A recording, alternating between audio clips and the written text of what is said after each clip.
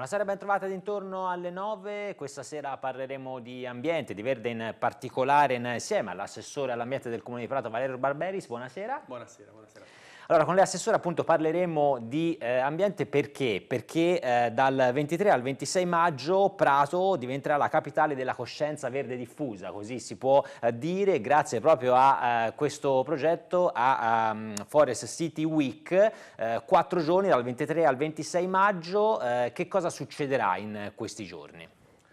Allora, ci saranno tantissimi eventi e soprattutto i primi quattro giorni, diciamo 20, i primi tre giorni, il 23, il 24 e il 25, ci saranno degli eventi eh, tra Palazzo Pretorio, Museo del Tessuto e il mercato coperto del Marolotto Zero, in cui sostanzialmente si farà il punto di quello che è l'evoluzione del progetto Prato Forest City e quello che ha comportato per la città. Quindi il primo giorno, il 23 maggio, ci sarà un evento dedicato a natura e salute. Tra l'altro una giornata dedicata alla memoria di Gigi Biancalani, quindi il nostro grande amico e compianto vice sindaco della città, dove si, appunto, si faranno, ci saranno esperti, ci saranno medici, ci saranno personale dell'ASL, ci saranno progettisti, architetti, paesaggisti, eccetera, e in cui si dibatterà di come la natura in realtà sia uno strumento di prevenzione sanitaria, di quindi come in realtà la natura abbia questo ruolo fondamentale soprattutto nelle aree urbane. Il giorno successivo è invece dedicato ai dati,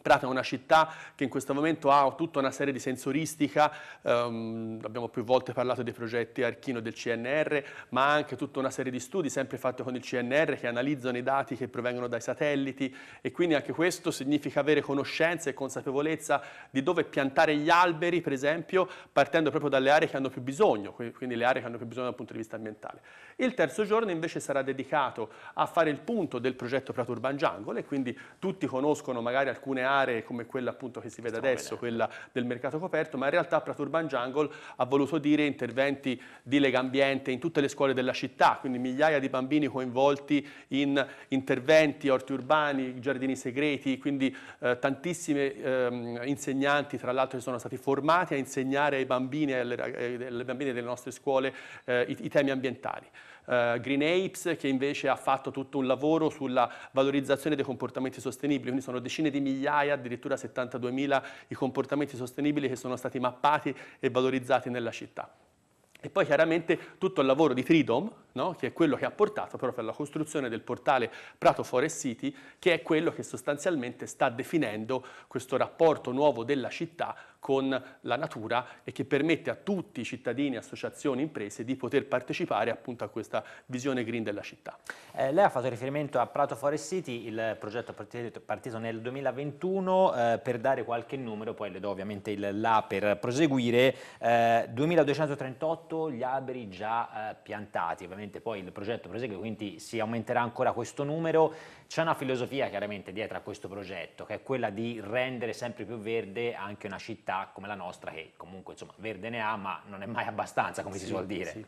Allora, ehm, Prato Forest City di fatto è diventato il, il, contenitore dentro il quale stanno i progetti che l'amministrazione sta portando avanti e grazie a questo coordinamento, tra l'altro sono tantissimi i progetti in corso, i cittadini vedono questi giorni gli interventi lungo la declassata oppure appunto davanti al centro Pecci o ancora sono veramente tantissimi gli interventi, abbiamo parlato recentemente degli interventi in, in oltre 40 giardini scolastici, quindi è un, è un, coordinamento che in questo momento sta portando in città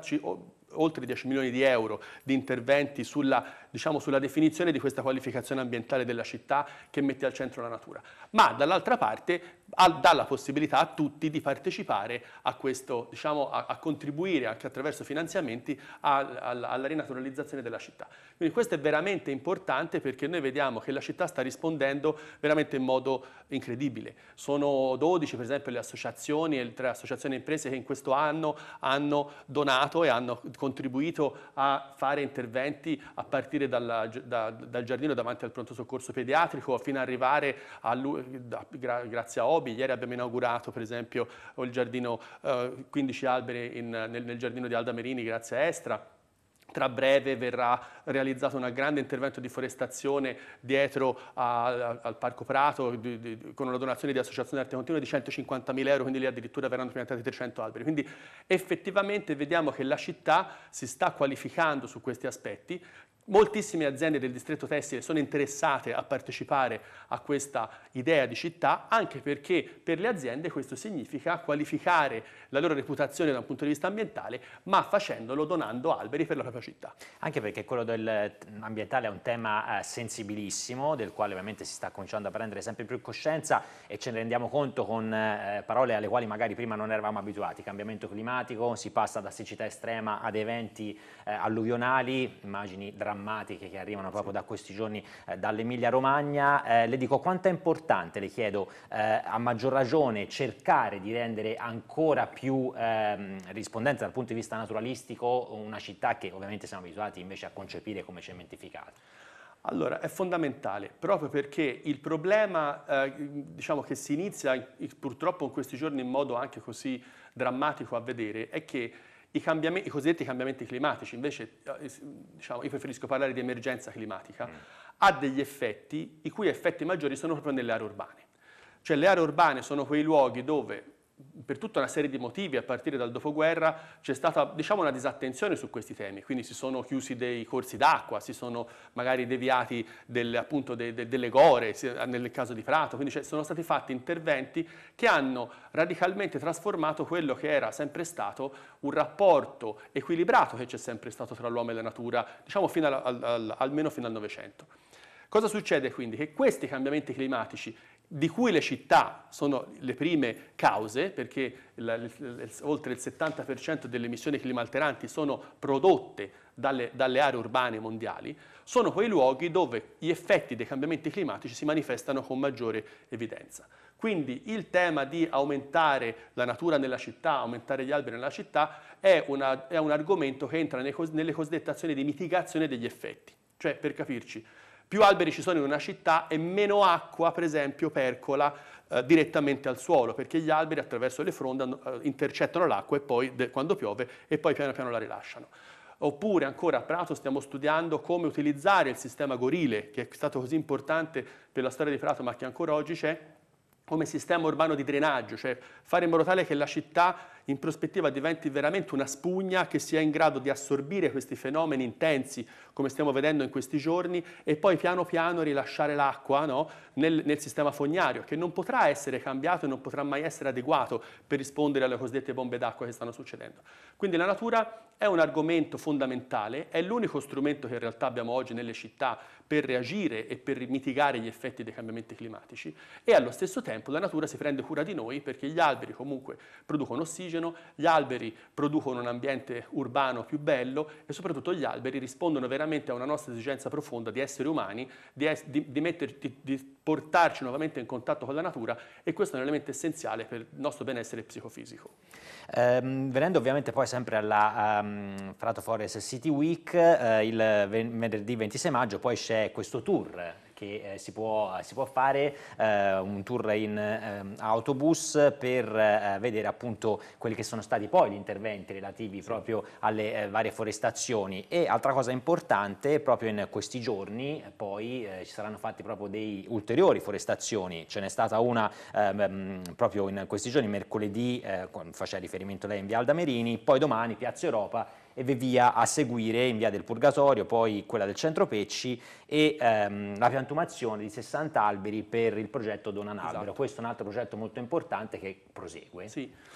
Allora, infatti, abbiamo inaugurato ieri l'intervento di forestazione urbana dei giardini, di dei, dei giardini Aldamerini, eh, domani ci saranno appunto quelli, l'intervento in Piazza Europa, che comunque chi vive quella zona lo, lo, sta già vedendo, in questo caso è una donazione dei Rotari della città, poi c'è un intervento in via del Purgatorio grazie alla, alla rifinizione Penni, quindi anche in questo caso un'azienda del distretto tessile, eh, andremo eh, a vedere anche l'intervento di forestazione urbana davanti al centro Pecci che è completato, ma l'altro elemento importante appunto è, la, è, che prosegue la campagna Dona un albero, quindi mentre nei casi precedenti sono aziende o associazioni che hanno donato, hanno fatto una donazione specifica su certe zone, nel caso di Dona un albero la campagna è sempre aperta, tutti i cittadini se possono andare nel sito di Prato Forest City e andare a Dona, eh, cliccando possono andare a scegliere il luogo dove loro, a loro interessa piantare un albero, quindi attraverso una donazione di 150 euro poi verrà piantato l'albero e a loro verrà mandato un QR code dove loro sapranno che quello è l'albero